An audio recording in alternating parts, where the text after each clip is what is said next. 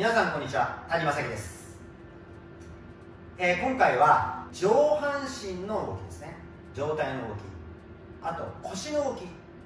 これを一緒にやっていきたいと思います。一緒に説明していきたいと思います。それはなぜかというと上体の動作というのは下半身の動きによって上半身がついてくるような動作になってくるんで、まあ、もちろんこう上半身だけこう悪い動作をしてたら、まあ、それはそれでちょっと変えていかなきゃいけないんですがあくまでも理想の動作としては下半身の動きについてくるでいわゆる腰の動作をちょっと説明していきたいでまずそのちょっと腰の説明しやすい分かりやすいようにちょっとこのツアースティックをベルトループのように突き刺します、は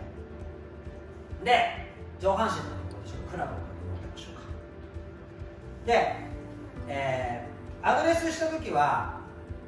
当然まああんまりね最近ちょっとこうちょっとこう傾けておきましょうっていうのもありますけれどまあ初めは上と下の棒が平行の方がいきます。で後方から見た時もこれが腰だけこうなってたり上半身がこうなったりしないようにあくまでも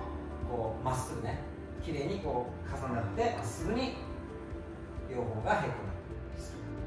バックスイング上げてった時にまあいろんなこう説はあります。例えば腰からこうやってちょっと右に乗っけてあげていきましょうとか少し左に腰を逃がしてあげましょうとかいろいろあると思うんですがまあいずれにしろ何が大切かっていうとダウンスイングの時に上半身と下半身がどのぐらいねじれてダウンスイングしてくれるか。これが最も重要なわけです。上げていく時にそのダウンスイングをしやすいようなポジションで上げていけばいいかなと。例えば少し、えー、腰を逃がし左側にちょっと逃がして上半身をこう回していくちょっと今時の感じで回していった方がダウンスイングで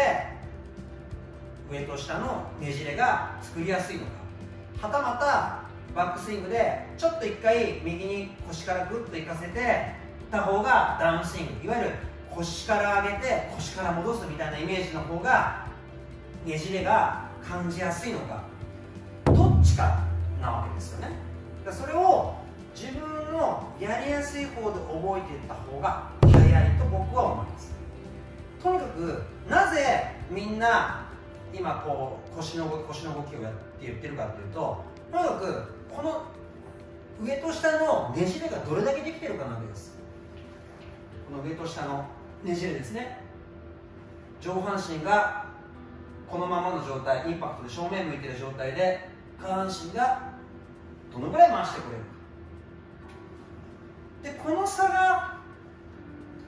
飛距離をね生んでくれるわけ。球を飛ばしてくれるわけです。でこの状態であとはそのまま胸をこう張っていくようなお腹を突き出していくような感じにしていくともう勝手に綺麗な力の入るというか、うんと、スピードを出しやすい体の動きのフィニッシュというのかな。を作りやすいんです。だからこの上と下どうしてもこうあのアマチュアの方たちって意外とこうやって初め背中回す回す回そうとかバックスイングでちゃんと肩入れようとかってやるんだけどダウンスイングで急に上と下が一緒になっちゃう人が多いんですね。これが絶対的にダウンスイングでねじれができてくるようなイメージにしていきたい。でこの角度は大体45度ぐらいできてるのが最高と言われています。上と下の角度が45度ぐらいですね。できていれば最高と言われています。それに向けてダウンスイングのイメージをやるだこうやって少しこういうね強スティックみたいなのがあればベルトループに刺していただいて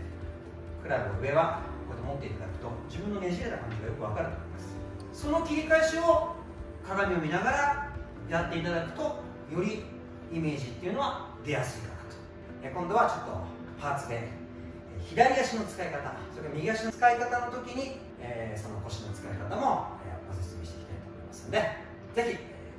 ください、えー、皆様ご視聴ありがとうございました、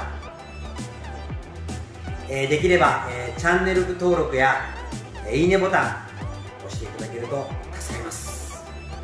えー、それから、えー、コメントなど、えー、いただければ、えー、そのコメントにお答えしていこうかなと思っておりますので、えー、ぜひよろしくお願いいたします。